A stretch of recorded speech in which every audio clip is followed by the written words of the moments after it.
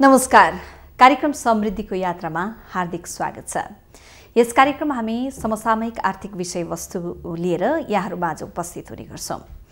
दर्शकबिन कोभिड नाइन्टिनका कारण यतिखेर विश्वको श्रम बजार एकदमै भयावह स्थितिमा पुगेको छ। अथवा भनौँ करोडौँ श्रमिकहरूले रोजगारी गुमाउने अवस्था सृजना भएको छ। यसबाट विश्वमा नै एक खालको त्रास सृजना भएको छ। हाम्रो जस्तो मुलुक यहाँ पनि धेरैभन्दा धेरै मानिसहरू आफ्नो श्रम बेचेर जीविका चलाइरहेका छन्। नेपालमा मात्र होइन विदेशमा पनि गएर नेपालीहरूले आफ्नो श्रम बेचेका छन्। त्यस बापत पठाएको पैसाले मुलुकको आर्थिक स्थितिमा महत्त्वपूर्ण भूमिका खेलेको छ। विशेष गरी खाडी मुलुकमा गएका नेपालीहरू नेपाली श्रमिकहरूको अवस्थाको बारेमा आज हामी केन्द्रित रहेर छलफल गर्ने जमर्को गर्दैछौँ। हामीसँग हुनुहुन्छ श्रम विज्ञ डाक्टर गणेश गुरुङ। आउनुहोस् उहाँलाई कार्यक्रममा स्वागत गरौँ। डाक्टर साहब स्वागत छ यहाँलाई कार्यक्रममा। धन्यवाद। सन्चै हुनुहुन्छ? एकदम सन्चै छु।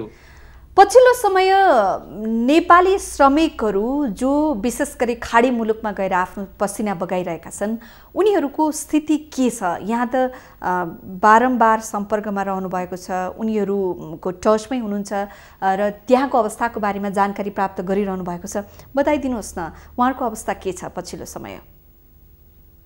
अहिले के छ भने यो कोभिड उन्नाइसको महामारी विश्वव्यापी हो। यस कारणले तपाईँले भन्नुभएको खाडी राष्ट्र जहाँ हाम्रो नेपालीहरू सबैभन्दा बढी जान्छन् र ती बढी जानेहरू पनि वैदेशिक रोजगारमा जानेहरू मध्ये अलि गरिब तबकाका मान्छेहरू जान्छन् किनभने नेपाली वैदेशिक रोजगार भनेको जो मान्छे धनी छ धेरै तलब आउने देश जान्छ जो मान्छे गरिब छ त्यो चाहिँ थोरै तलब आउने ठाउँमा जान्छ। त्यो विडम्बना छ। अब खाडी राष्ट्रमा जानेहरू तल्लो तबकाका गरिबहरू हुन्। त्यस कारणले कम तलब जान्छन्। र खाडी राष्ट्रभन्दा पनि झन् कम तलब आउने देशमा पनि जानेहरू छन्। त्यसो भएर उहाँहरू अहिले चाहिँ मतलब के भने खाडी राष्ट्रमा जाने मानिसहरू युवाहरू दुईवटा कोराले डरमा बसेको छ। एउटा रोग अर्को भोग। अब उहाँहरूलाई रोगबाट बस्नलाई र भोगबाट बस्नलाई र तेस्रो पनि छ अहिले चाहिँ म के भने झन्डै झन्डै एक लाख तेत्तिस हजार चाहिँ नि अहिले मानिसहरू खाडी राष्ट्र मलेसियाबाट मात्र फर्कनलाई तम तयार भएर चाहिँ जहाज कुरिरहेको अवस्था छ। र उहाँहरू ज्यादै चिन्तित छ। कसरी जोगिएर नेपाल आउने नेपाल आएर पनि फेरि भोगसँग कसरी चाहिँ मतलब जोगिने अब यो विकराल स्थितिमा सरकारले आफ्ना नागरिकलाई स्वदेश फर्काउनका लागि प्रयास गरेको कुरा बारम्बार सुनिन्छ तर व्यवहारिकतामा खासै प्रगति देखिँदैन भनौँ। अहिलेसम्मको डाटा हेर्ने हो भने पचास हजार प्लस नेपालीहरू चाहिँ विशेष गरी खाडी मुलुकबाट नेपाल भित्रिसकेको भन्ने डाटाहरू देखिएका छन्। अझै पनि यहाँकै भनाइलाई आधार मान्ने हो भने एक लाख बढी नेपालीहरू उद्धारको पर्खाइमा अथवा स्वदेश फर्किने पर्खाइमा बसिराखेका छन्। वास्तवमा यो समस्या यो भयावह समस्याको बिचमा पनि सरकारले आफै टरेर जान्छ अथवा सक्छन् भने आफै आउन् भन्ने हिसाबको किन व्यवहार गरिराखेको छ श्रमिकहरूलाई? जबकि त्यहाँ चाहिँ रोग सँगसँगै भोगको पनि त्रास एकदमै बढेर गएको छ। यो विडम्बना छ हेर्नुहोस्। नेपालीहरू यो युवाहरू वैदेशिक रोजगारमा गएको आर्थिक वर्षमा जुन चाहिँ चार महिना चाहिँ जान पाएनन् र चार महिनामा चाहिँ नि चार महिनामा त्यस्तो वैदेशिक जान नपाउँदाखेरि पनि गएको आर्थिक वर्ष हेर्नुहुन्छ भने दैनिक चाहिँ म एक हजार नौ औसतमा चाहिँ मान्छे गएको देखिन्छ प्रतिदिन। र ती मान्छेहरूले प्रतिदिन चार महिनासम्म काम नपाउँदाखेरि पनि प्रतिदिन दुई अर्ब उन्चालिस करोड प्रतिदिन नेपाल पैसा पठाएको देखियो। यो भनेको हाम्रो देशको ग्रामीण अर्थतन्त्र र बिलो एभरेज यो चाहिँ मतलब के भने औसत आम्दानी हुँदा भन्दा नि तल्लो परिवारको घरधुरीलाई चाहिँ मतलब के भने गरिबीबाट निकाल्ने चाहिँ मतलब के भने यी चाहिँ हाम्रो चाहिँ मतलब इकोनोमिक हिरोहरू हुन्। यी इकोनोमिक हिरोहरू वर्षौँसम्म यिनीहरूको रेमिटेन्समा देशले चाहिँ गुणगान गायो। तर अहिले यो कोभिडको उन्नाइस आइसकेपछि यी हिरोहरू सबै जिरोमा गयो हेर्नुहोस्। यी हिरोहरूलाई अब चाहिँ राष्ट्रले पनि अहिले त्यति चाहिँ ख्याल गरेका छैन जहाज पठाउन सकेका छैन गएको जहाज पनि रित्तो फर्किदिन्छ मान्छेहरू भोक भोक बसिराखेका छन् र राष्ट्रले चाहिँ मतलब के भने त्यो वैदेशिक रोजगारमा जाने कामदारहरूको बलियो आवाज सङ्गठित आवाज नहुनेको कारणले राष्ट्रले चाहिँ मतलब कुरा सुनेको छैन। एउटा जस्तो श्रमिक उद्धार निर्देशिका नै मन्त्री परिषदबाट पारित गरेर सरकारले उद्धार गर्ने भन्ने रणनीति त बनाएको थियो। त्यो पनि प्रभावकारी हुन सकेन। यो यति धेरै नेग्लिजेन्स भनौँ अथवा काम गर्न नसक्नुको कारण चाहिँ के होला के लाग्छ यहाँलाई? अब यो निर्देशिका चाहिँ मतलब उद्धार गर्ने निर्देशिका बनायो। तर त्यो निर्देशिका यति ढिलो आयो। धेरै मान्छेलाई समस्या परिसकेपछि आयो एउटा कुरा। अर्को कुरा चाहिँ निर्देशिका आएको चाहिँ नि पचास पचपन्न दिनसम्म एउटा पनि मान्छे ल्याउन सकेन। किनभने त्यो लम्बेतानको चाहिँ मतलब झन्झटिलो प्रक्रिया भयो। अर्को कुरा निर्देशिकामा के भइदियो भनेदेखि दुइटै कुरा ठुलो कमजोरी रह्यो। एउटा कुरा चाहिँ मतलब के भने निर्देशिकाले कामदारले मात्रै पैसा राखेर गएको कल्याणकारी कोषको मात्रै पैसा चलाउ भन्यो। र पन्ध्रवटा चाहिँ मतलब के आधारहरूमा वर्गीकरण गरिदियो। र सबभन्दा ठुलो कुरा चाहिँ मतलब के भने त्यो स्रोतले चाहिँ नपुग्ने अवस्था हुन्छ भनेर त्यो निर्देशकले एकदम कन्जुसाइ गरेर कामदारलाई ल्याउने चाहिँ मतलब के भने निर्देशिका अप्नायो। र तेस्रो कुरा समस्या के भइदियो भने त्यो निर्देशिकामा जसले पन्ध्र सय रुपियाँ चाहिँ नदिकन थाहा पाएर वा थाहा नपाएर कल्याणकारी कोषमा नराखिकन गएको कामदारहरू छ। त्यो कामदारहरूलाई चाहिँ मतलब के गैर कानुनी ढङ्गले गएको मानिसहरू भनेर त्यो निर्देशिकाले समेट दिएन। अब धेरै घरेलु कामदारमा गएको महिलाहरू चाहिँ मतलब के भने त्यो पन्ध्र सय रुपियाँ नबुझाइकन गएको थाहा नपाएको कारणले नबुझाइकन गएको कारण थियो। ती महिलाहरू आज चाहिँ गर्भवती छन् बच्चा पाएको छ बिचराहरू बिरामी छ काममा निकालिदियो एमएससीले चाहिँ दिन सकेका छैन बाटोमा छ। तिनीहरूलाई ल्याउने त्यो निर्देशकले चाहिँ मलाई त्यो प्रावधान गरिदिएन। डाक्टर नपाएर कल्याणकारी कोषमा पैसा जम्मा गर्न सकेनन् भलै त्यो त्यो पनि सरकारको दायित्व हो कि आफ्ना नागरिक जहाँ अलपत्र परेका छन् तिनीहरूको उद्धार गर्नु त अभिभावकको त दायित्व हो त्यो गर्न सकेन। तर कल्याणकारी कोषमा जम्मा भएको श्रमिककै पैसा चाहिँ किन खर्च गर्न नचाहेको होला अथवा किन खर्च गर्न नसकेको होला त यस्तो अवस्थामा सरकारले? अब सरकारको अहिलेको दृष्टिकोण चाहिँ मतलब के भने जम्मा पाँच अर्ब रुपियाँ छ। यो पाँच अर्ब रुपियाँले हामीलाई लास पनि ल्याउनु पर्छ। यो पाँच अर्ब चाहिँ धेरै समयसम्म राख्नुपर्छ र यो पाँच अर्ब त केही समयमा सकिहाल्छ भन्ने कुरा गरिराखेको छ सरकारले। तर त्यसो होइन यो चाहिँ मतलब यस्तो महामारी यस्तो महाविपदको बेलामा त्यो पैसा नचलाए कहिले चलाउने? कुन चाहिँ यहाँ महाविपदलाई कुर्ने हामी? एक। नम्बर दुई चाहिँ मतलब के भने सरकारले त्यो त्यो कामदारको पैसा मात्र हो त्यो। त्यो कामदारको पैसामा सरकारले पनि म्याचिङ ग्रान्ट राख्नु पर्यो। सरकारले पनि आफ्नो ढिकुटीबाट पैसा चाहिँ हालेर पनि आफ्नो नागरिकलाई उद्धार गर्नु पर्यो। छिटो गर्नु पर्यो। र त्यो गैर कानुनीमा गएको भनेर जुन अल्पत्र परेको छ त्यो पनि नेपाली नागरिक हो। त्यो नेपाली नागरिकलाई हामीले त्यसरी चाहिँ किन अल्पत्र राख्न सक्दैनौँ। बरु त्यो नेपाली नागरिकलाई एम्बेसीमा त्यो पन्ध्र सय रुपियाँको सहित पेनाल्टी सहित तिर्ने व्यवस्था गरिदिएर चाहिँ त्यो त्यो नेपाली नागरिकलाई मतलब किन उद्धार गर्नु जरुरी छ। र यो निर्देशिका भनेको उद्धार गर्ने हो। उद्धार भनेको चाहिँ अल्पत्रमा परेको मान्छेलाई हो। उद्धार भनेको चाँडै गर्ने हो। यतिका समयसम्म नगरी राख्नु अनि फेरि त्यहाँ छुटाउनु भेदभाव गर्नु अनि उसलाई चाहिँ कुनै प्रावधानमा नराखिदिनु। त्यसले गर्दाखेरि यो सबै झन्झटिलो प्रक्रियाहरूले गर्दाखेरि अस्तिको दिनमा साउदी अरबियामा र केही अरू ठाउँमा चाहिँ नि विदेशी भूमिमा सरकारको आफ्नो सरकारको विरुद्धमा नारा जुलुस लाग्यो हजुर जस्तो नि जस्तो नि डाक्टर गुरुङ त्यहाँका खाडी मुलुकका विशेष गरी त्यहाँ रहेका राजदूतहरूले नै गुनासो गर्नुहुन्छ कि हामी कहाँ यति धेरै चाहिँ उद्धार गरिदेऊ भनेर हारगुहार गर्न नेपाली श्रमिकहरू आउनुभएको छ हामीले यति धेरै समन्वय गर्न खोजिरहेका छौँ चाहिरहेका छौँ उद्धार गर्न वातावरण मिलाइदेऊ भनेर सरकारसँग गुहार गरिरहेका छौँ तर रिजल्ट पोजिटिभ निकाल्न सकेका छैनौँ अहिलेसम्म भन्ने खालका कुराहरू गर्नुहुन्छ। उहाँहरूको आफ्नै गुनासो छ। यसमा पनि सरकारको उदासीनता देखेर साँच्चीकै सरकार आफ्ना नागरिकहरूप्रति किन चाहिँ उत्तरदायी बन्न सकेन भन्ने जिज्ञासा जथाभावी देख्न पाइन्छ। वास्तवमा यो भोलिको सङ्कट अझ भयावह हुने हो। भोलिलाई चाहिँ हामीले रकम राख्न सक्नुपर्छ भन्ने हिसाबले नै त्यो सोचेर नै काम गर्न नसकेको हो अथवा सरकारले के हिसाबले चाहिँ नागरिकहरूको उद्धारमा ढिलाइ गरेको छ त? के लाग्छ यहाँलाई? अहिले के भइराखेको छ भने यो चाहिँ नि श्रम मन्त्रालयले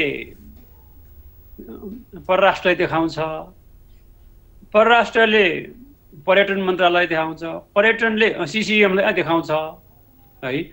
अब यो यस्तो महामारीको अवस्थामा चाहिँ उद्धार गर्ने बेलामा यो मन्त्रालय यो मन्त्रालय भन्ने कुरो हुनु हुँदैन। यो त देशकै सेवा प्रदान गर्ने बेला हो। देशले नै उद्धार गर्ने व्यवस्था हो।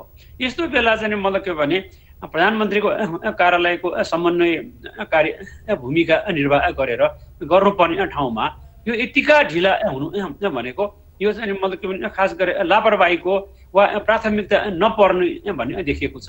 अब हामीले जे शब्द प्रयोग गरे पनि ती कामदारलाई चाहिँ मतलब के भने पचपन्न छप्पन्न दिनसम्म सेवा उसले प्राप्त नगर्नु। उद्धारको सेवा प्राप्त नगर्नु भने त त्यो लापरवाही नै हो। त्यस कारणले यसमा समन्वय देखिएन। त्यो चाहिँ सरकारको चाहिँ मतलब के भने अहिले कमजोरीको रूपमा रहेको छ। त्यसले नै त्यसको परिणामै हो चाहिँ मतलब के भने विदेशी भूमिमा आफ्नो नागरिकले आफ्नो देशको बारेमा चाहिँ मतलब के भने नारा लगाएको। त्यो भनेको ज्यादै दुःखनीय कुरा हो। अहिले अब पर्यटन मन्त्रालयको सहजीकरणमा फ्लाइट व्यवस्थापनको कुरा त आएको छ। यद्यपि कार्यान्वयन नहुन्जेलसम्म के हो भन्ने कुरा अझै पनि ढुक्क हुने अवस्था त छैन। तैपनि जुन रूपमा नेपाली श्रमिकहरू नेपाली नागरिकहरू स्वदेश फर्किन्छन् उनीहरूले नेपाल फर्किसकेपछि पिसिआर टेस्टको रिपोर्ट नेगेटिभ लिएर आइसकेपछि फेरि नेपालमा चौध दिनसम्म क्वारेन्टिनमा आफै बस्नुपर्ने घरसम्म पुग्ने खर्च आफै गर्नुपर्ने लगायतका जति पनि कुराहरू चाहिँ आएको छ। यो कुरामा त जो खानै नपाएर खाडी मुलुकहरूमा रात दिन दुःख गरिराखेको छ उसको लागि त अझै पनि गाह्रै छ नि त नेपाल फर्किन्छु भने पनि होइन? यसको लागि चाहिँ किन सरकारले सहजीकरण गर्न नसकेको होला? के लाग्छ? त्यसमा के छुटेको छ भनेदेखि यो निर्देशिकामा जुन जुन कम्पनीले वा कुनै कारणवश उसले चाहिँ म आफ्नै टिकटको व्यवस्था गरेर चाहिँ आउन सक्छ। त्यस्तो मान्छेलाई चाहिँ वैदेशिक रोजगार बोर्डबाट चाहिँ यो आइसोलेसन र यो क्वारेन्टाइनको खर्च बेहोर्दी हुन्छ। किन पिसिआरको टेस्टको पनि खर्च बेहोर्दी हुन्छ। मैले अघि नै भने अहिले पैसा जोगाउने मितव्ययित गर्ने समय होइन। तिनीहरूकै पैसा हो। तिनीहरूले जम्मा गर्ने पैसा हो। अहिले चाहिँ के को लागि कुन चाहिँ अर्को ठुलो महाविपद कुरेर बस्ने हामी?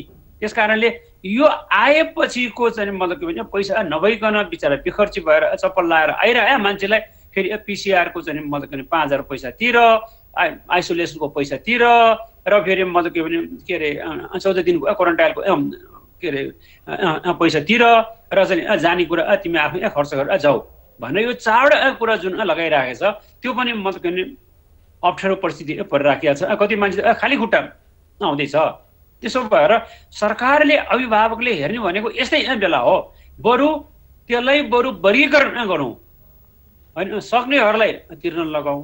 नसक्नेहरूलाई चाहिँ मतलब पनि एउटा मानकको मापदण्डको आधारमा तिनीहरूलाई सरकारले वैश्य रोजगार बोर्डबाट होस् वा सरकारले म्याचिङ ग्रान्ट दिएर होस् त्यसलाई चाहिँ मतलब सुविधा दिनुपर्छ हामीले। किनभने हाम्रो चाहिँ मतलब के भने यही कोभिड उन्नाइसमा पनि चिनबाट एमबिबिएस गरेर एमडी गरिराखेको र ठुल्ठुलो व्यापारीलाई हामीले चार्टर गरेर प्लेनमा चाहिँ एक सुगा नलिकन भक्तपुरमा चाहिँ एक सुगा नलिकन उसलाई चाहिँ व्यवस्था गऱ्यौँ त हामीले फेरि।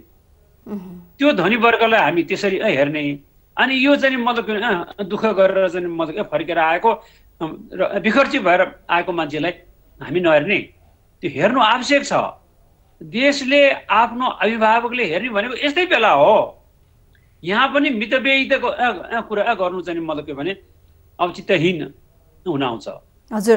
डाक्टर साहब जस्तो नि हुन त नेपाली श्रमिकहरूको विशेष गरी जो खाडी मुलुकमा जानुभएको छ उहाँहरूको अवस्था अहिले मात्र होइन कि वातावरण सहज हुँदा पनि एकदमै कतिपय सिचुएसनहरूमा दुःख पाएको खान नपाएको बस्न गाह्रो भएको एउटा कम्पनीमा काम गर्न गएको अर्कै कम्पनीमा काम गर्नुपर्ने एउटा तलब तोकेर गएपछि त्योभन्दा कम तलबमा काम गर्नुपर्ने बाध्यता पहिला पनि थिए। अहिले त झन् यो अवस्था अब भोलि कामै पाइन्छ कि पाइँदैन भन्ने खालको त्रास आफैमा पनि छ। यो अहिलेको कोभिडबाट ग्रसित भएको विश्वमा यतिखेर नेपालीहरू जो पहिला पनि दुःखैमा थिए अहिले पनि दुःखैमा छन् ती दुःखमा रहेका श्रमिकहरूको चाहिँ एक्ज्याक्ट डाटा कस्तो छ के छ यहाँसँग छ जानकारी केही? अब यहाँ यस्तो छ। गैर आवासीय नेपाली सङ्घ र नेपाली राजवासहरूले हरेक देशमा अहिले चाहिँ त्यस्तो वर्गीकरण गरेर तथ्याङ्कहरू लिएको छ। त्यो अनुसारै हिजोको दिनसम्म मैले भनेको हो एक लाख तेत्तिस हजार नेपाली फर्कनलाई झोला चाहिँ झिटी घुम्टी बाँधेर बसेको छ यो। तथ्याङ्क होइन? योभन्दा बढी छ मान्छे चाहिँ। नि त्यहाँ धेरै मान्छे छ। तर त्यहाँ चाहिँ मतलब के भने कस्तो भने आंशिक रूपमा चाहिँ काम दिइराखेको छ कम्पनीले कतिले। कतिले चाहिँ मतलब के भने पर्ख र हेरको नीति अन्तर्गतमा क्याम्पमा लगाएर राखिदिएको छ खाना बस्नु सुविधा दिएको छ काम दिएको छैन तलब दिएको छैन। हामी कोभिड अलि कम भएपछि हामी सक्नुपर्छ काममा चाहिँ लाग्नुपर्छ भनेर राखेको छ ठुलो सङ्ख्या छ। जस्तै तपाईँलाई उदाहरण दिउँ।